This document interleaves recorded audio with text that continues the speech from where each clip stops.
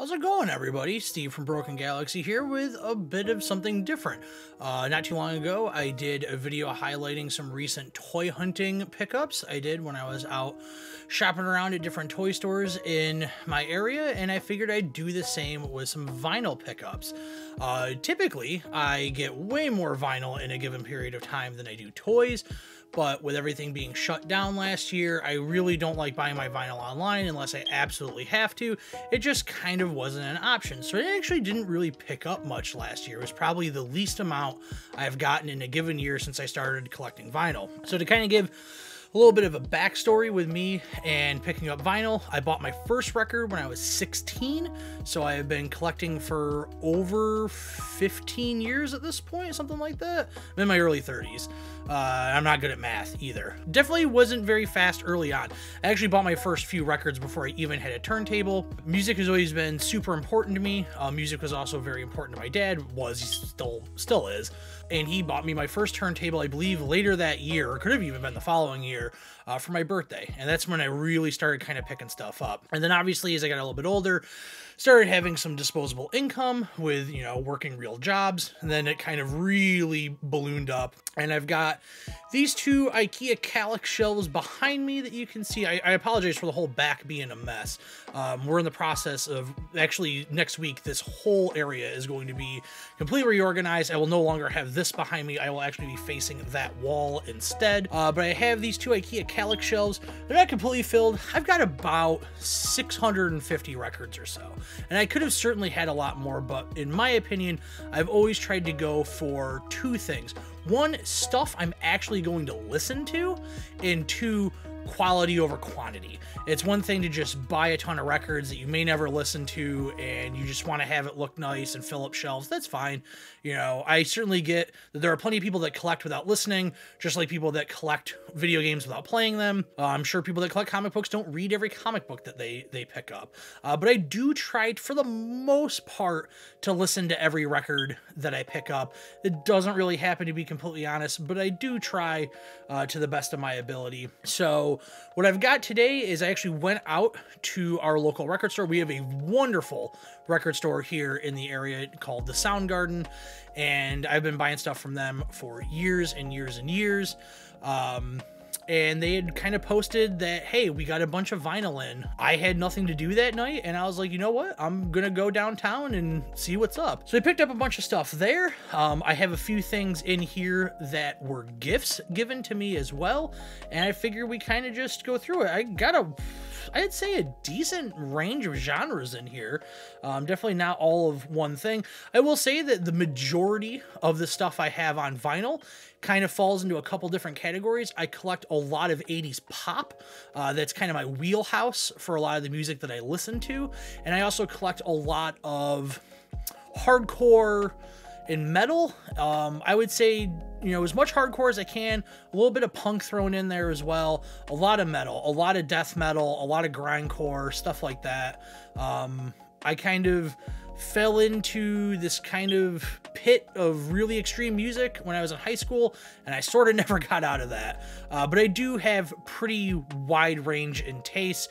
I do find merit in pretty much every kind of music. Um, I also get a lot of jazz. I grew up playing jazz music, so jazz always has a very specific place in my heart, though I'm very, very picky with the jazz that I do get. There's so much of it pressed on vinyl, and a lot of it is just not great, I guess you would say, you know. No jazz today, but some interesting stuff. So let's uh I guess let's uh let's begin. All right, so the first couple of things were gifts. Uh, I've got a buddy of mine who started getting into vinyl about a year ago, I would say, and he orders a lot. He gets a lot of stuff, and he gets a lot of stuff from Europe, if I remember right. And every once in a while, something just gets jacked up in the mail, and a jacket gets bent or messed up. You know, the vinyl itself, the record itself is fine, it'll play, uh, but the jacket gets screwed up, so he gets a duplicate sent to him, and he'll give me the one with the messed up jacket. And because it's free, I don't care that the jacket's messed up. So the the first two he gave to me very recently, I actually don't quite know what genre they are. He said they were either synthwave, synthwave or vaporwave. Um, one of the people I have heard of, one I have not. The first one is Eagle Eyed Tiger Smile for the Camera See if we can see that right there. Uh, I believe he said this was perhaps on the vaporwave side of things. Um, I'm not quite certain. Let's actually see. This is very nice colored vinyl. This actually has MoFi sleeves on the inside. That is good quality stuff. This is a gorgeous red, black, and white with a little bit of orange splatter pattern. Very, very nice. I'm sure that this was quite limited. Typically, uh, you'll get more crazy variants like this, as well as just a plain black. Um, so yeah, I'm looking forward to listening to this stuff. You know, especially because it was given to me by a friend, and that makes it that makes it important. Even if I don't ultimately end up liking the music, it's still important to me because it was given to me by a friend. The other one is an album by Michael Weber, and I have heard of him. I have not heard this though. This is Emotional Investments. Um, I have not listened to this one, but I have listened to other stuff by him. I'm sorry, I keep looking up. I'm actually filming this on a different camera, so I'm testing it out. And I apologize for the lights. Those are actually the lights for my uh, for my computer. Um, sometimes you get, you know, beggars can't be choosers. I've gotten stuff that's been messed up in the mail, and you know, there's there's not really too much you can do about it. This is just plain black, so we don't need to we don't need to open that. You know what a uh, you know what a black record looks like. But very cool, very awesome to have as a gift. Yeah, now that I'm seeing it on camera, yeah, that's gotta that's bad. I'm sure I did not make that any better than it was. But yeah. Oh well, you know. So the next thing was a gift as well. I actually fully intended on paying for this, but he insisted. Uh, this was actually from several months ago at this point, but it is one of the more recent things that I got, and that is the soundtrack to a video game. Um, the video game series that I'm kind of partial to, and that's the Crush series. You've never heard of that. They were released on the Super Famicom. One was on the Genesis, and one was on the TurboGrafx. And I am familiar with the TurboGrafx, and they are pinball games of all things. This is the soundtrack to Devil's Crush and Aliens Crush. Uh, there was also Jaki Crush on the Super Famicom, and there was one that was Dragons something. It was not Dragon's Crush, but I believe that was the the Genesis one. And I do believe that this is a particular colored vinyl. Yes, it is. This is clear, and I am very partial to clear vinyl. Let's be very careful getting that out. But yeah, that is a splatter pink and clear. Absolutely awesome. Um, I have a, you can kind of see it there. It's a red and black swirl uh, slip mat that my dad got me from uh, Amoeba Records out in California. And I really love the way it looks, um, but it can be a big pain to queue up particular tracks when it's clear on top of it. It's a little hard to read. All right, now moving into the stuff that I bought for myself recently. One is an online order. It was kind of the only way to get it, and that is the newest Genghis Tron album Dream Weapon. This is a band that is super, super important to me. Uh, their original run was when I was in high school. Uh, synthesizer driven, drum machine, just craziness, you know, like screeching vocals, just really inventive, really out there, really weird. And I absolutely loved it. They broke up, they did a couple albums and an EP and some remix stuff, and they just completely disappeared off the face of the earth. Last year they popped up. They started posting on social media again. And I initially thought, okay, they are going to like repress the original albums, which they did do, but they also said, hey, by the way, we've gotten back together. We're going to use a real drummer instead of a drum machine. Our singer is no longer with us, um, but we're going to get a new singer and we're going to put this album out. And this music is very, very different from what they used to do. This is much kind of more calmer, I would guess. It is not hyperactive. It is not frenetic in any stretch, but I was able to get one of these super duper limited. This is, I'm not sure, quite sure what they're calling this, but it's essentially like sky blue and white uh, mix. And this was limited to 250 copies, if I remember right. I was able to jump right on it when it got announced. Uh, the album actually got delivered a few days before it came out, so I got to listen to it before it hit like streaming and all that stuff.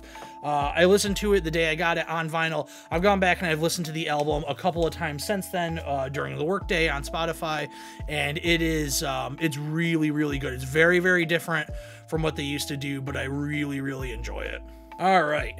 here's the stuff I got last weekend. Starting off with Venereology by Merzbow, legendary Japanese noise artist. Uh, you may know him from his collaborations with the band Boris. Uh, he has done a lot of stuff. This guy makes some crazy stuff. Uh, harsh noise. This is on absolutely gorgeous purple. Uh, it's coming up a little bit pink on camera, but this is like a dark purple uh, with the white. Um, is really, really nice. This came out, so the album is from a while ago. This is the reissue that came out from Relapse Records, and this was in, yeah, 2019, so not too long ago. And uh, yeah, I was able to pick this up for a good price. It was under 20 bucks. Uh, I should mention that uh, unless I absolutely have to, because it's a band that I enjoy that's coming up out with new music, I typically don't buy new vinyl. I pretty much get everything used. Uh, obviously, if it's a band I love, I'm going to get the album as soon as it comes out. But uh, for the most part, I scour used lots. Uh, but I did pick up a new album that came out last week, I believe it was, and that is Chemtrails Over the Country Club by Lana Del Rey. I am a big, big Lana Del Rey fan, have been since she kind of first hit the scene. Um, I think the first big song I heard of hers was probably Diet Mountain Dew. Um, but yeah, very, very good. Ultraviolence is a fantastic record. I have not gotten a chance to listen to this yet. It's just been a little hectic, and I really was digging into the um, the Genghis Tron record. I just want to make sure that there's nothing in here I can't show because one of the records I got definitely I will have to blur out, but should be good. Nothing too risque in there, kind of a butt up at the top, but you know, nothing nuts. I do believe this is colored vinyl. I have heard a couple of the singles she released from this album, so I know I'm going to like it. Yeah, that is a very nice, it looks white on camera, but think of it as a very soft, soft yellow. It's actually funny, um, my walls, I'm gonna have to do some color correction on this because I think the records are really throwing it off, but my walls look neon yellow right now, and I can most certainly guarantee you that I do not have a neon yellow painted room. Another pickup from a band I love. They have a new album coming out soon, and that is Zombi. This is 2020. This is their most re uh, recent album. These guys are tremendous. They are a two-piece, and they are very much in the style of like John Carpenter, uh, the composer, you know, famous for doing like the soundtrack to Halloween. Uh, I saw these guys live. They opened for Ghost on the Popestar tour and it's an actual drummer, and then the other gentleman switches between bass guitar and synthesizers. Um, they definitely have some other sounds in there um, as well. This is just on plain black. I really, really enjoy them. I've heard two songs off the new album, and I cannot wait. I would also really, really like to see them live again. Uh, due to the nature of their setup, they're very stationary while they play, so they had a very interesting and elaborate light show when I saw them. Uh, next up is 10 Steps to Success by He Who Corrupts. Uh, this is a band I listened to quite a bit back in the day. I have not listened to them in a while. Um, I would not say that I'm like a huge fan or anything, but when you see something by a band that you know you at least enjoy and it is dirt cheap, I believe this was under 10 bucks, it's kind of hard not to pick it up. Just plain black vinyl. This one, I think I'm just gonna have to show the back because the front of this album has a picture of a wiener on it. And that is the newest Anaal Nathrakh album Endarkenment. I love this band. They are just everything I want in extreme metal. The singer has these screeching, I mean screeching vocals to the point where they are just completely unintelligible. And I know most people that don't listen to extreme music, they, they can't understand what people are saying when they're screaming. I totally get that. You have to, it's an acquired taste. Uh, but I mean, this guy takes it to a whole other level. You have no idea what's going on. I mean, it sounds like somebody is running razor blades down his vocal cords. Very catchy though, because not only does he have those screeching high screams, he also has an amazing, very operatic uh, singing voice. And this is on colored vinyl. I actually didn't realize it was. Thought I checked. It must have just looked black in my car. This is, are there a wiener on this? I'm gonna make sure. Uh, yeah, it is, but I don't think you're gonna be able to see it really. Um, this, you kind of see it, try and get it in the light, but this is like a very, very dark maroon with some black and white. Uh, yeah, you can kind of see a little bit at the top. It looks just kind of like dust smudges. I really liked this album when it came out. This came out last year, yeah, 2020, and uh, I liked it. It's uh, not their best, but it's far from their worst.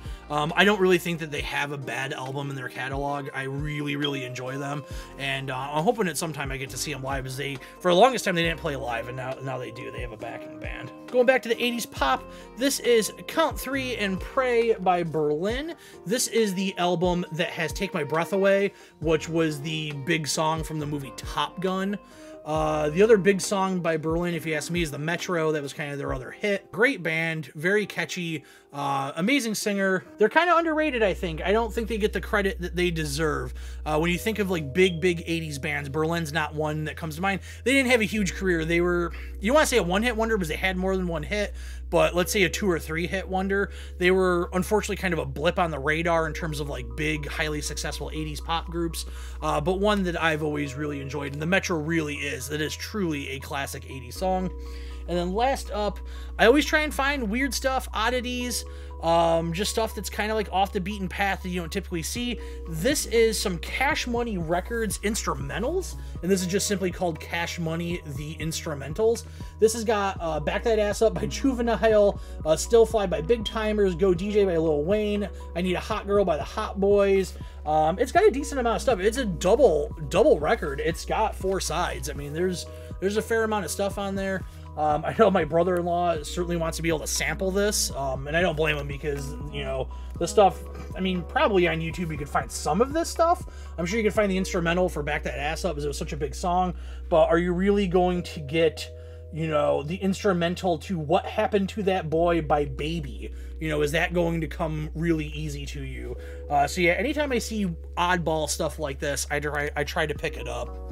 Uh, but yeah, that's everything I grabbed recently. I don't know how often I'll be able to do these. I try to get out as much as I can uh, with the way things are in the world. That ne doesn't necessarily mean people are driving to the record store to trade stuff in. Uh, and like I said, I try not to buy too much new stuff. I mostly focus on the older stuff. So I'm at the whim of when somebody decides to dump their collection or something like that. Also, for a lot of the people in this area that do sell their vinyl, it is of a particular genre and that is a particular genre that I collect, which means unfortunately sometimes I go to the store and then I get there and I'm like, I have it all, you know, and, and I know that's kind of like a, you know, that's a, a good problem to have, but you know, sometimes it's disappointing. You get really excited to go to the store and, and shop for some vinyl, and you're like, ah, I got like 90% of this stuff, and the other 10% I'm just really not interested in. Uh, but I will try to do this as often as I can. Same with the uh, the toy hunting stuff. And uh, yeah, thanks for watching. Hopefully, this will inspire you if you are a vinyl collector as well to get back out there and start going to some used record stores if you have one in your area to pick some stuff up. Um, you know, we're we're getting closer to to normalcy. It's nice to be able to go back and do those fun things that we used to do again. And yeah, I will. Uh, I'll see you soon. And uh, thanks again for watching.